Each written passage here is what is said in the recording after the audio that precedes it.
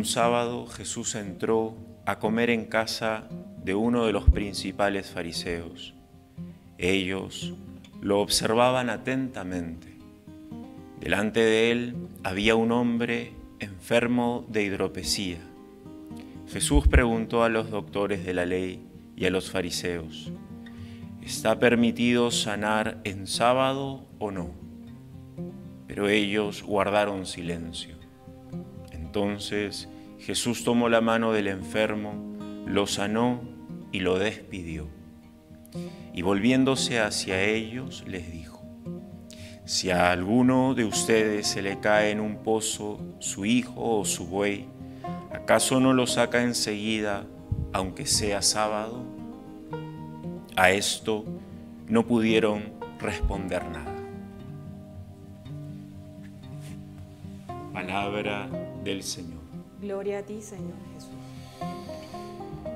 Hoy la palabra de Dios en el Evangelio nos habla de esta actitud que tenían también estos fariseos principales que habían recibido a Jesús para comer.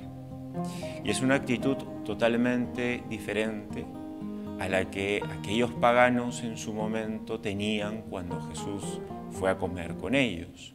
Por ejemplo, cuando fue a casa de saqueo, la actitud de este era de gran cariño, de gran orgullo de que Jesús esté cerca de él en su casa. En cambio, a estos principales fariseos que miraban atentamente y observaban cada gesto de Jesús, probablemente su actitud sea que Jesús tenía que sentirse orgulloso de estar en casa de estos hombres. Y es que a nosotros nos puede pasar muy similar. Nosotros que tenemos la oportunidad de acercarnos a Jesús en la Eucaristía, de ponernos en oración y tener una relación de tú a tú con Él en lo más íntimo de nuestra habitación o en medio de un templo, podemos tener esa actitud de decir, qué bien que yo vengo y formo parte de la iglesia y asisto y participo y gracias a mí se puede hacer muchísimas obras, tanto sociales como pastorales, y caer en esa soberbia que probablemente estos hombres habían experimentado. O tener esa sencillez de decir, por pura misericordia de Dios y por pura gracia de Él, me puedo acercar a su mesa, me puedo acercar a su casa.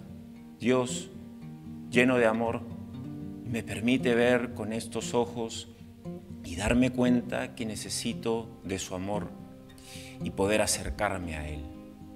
Eso en primer lugar, tener siempre el oído, la mente atenta espiritualmente por medio posiblemente de un examen de conciencia, por una oración fiel y perseverante de saber cuál es mi actitud cuando me acerco a Jesús, cómo es mi actitud en la iglesia, cómo es mi participación, es sencilla, entregada y consciente del amor y de la misericordia de Dios, o se esconde un poco de soberbia, un poco de orgullo, un poco de vanidad.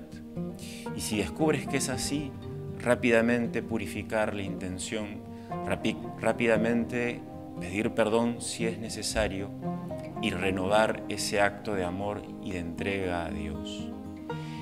Y finalmente, saber que Dios ha venido a llevarnos hacia Él y por medio de su Hijo Jesucristo nos lleva a su plenitud y nos dice para el amor no hay tiempo ni momento, para el perdón tampoco, y que Él está dispuesto siempre a sanarnos y a llevarnos nuevamente con Él, como lo hizo con este hombre que padecía una enfermedad y que Jesús tomándolo de la mano lo sana y lo envía nuevamente a sus labores.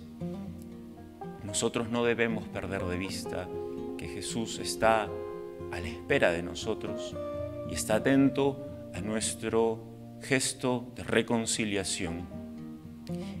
Eso que no se nos olvide y que siempre esté en nuestra mente ese brazo y ese momento que Jesús tiene para nosotros, ese gesto misericordioso que tiene para cada uno y que nos permite reconciliarnos con Él e ir preparándonos para gozar algún día del reino de los cielos.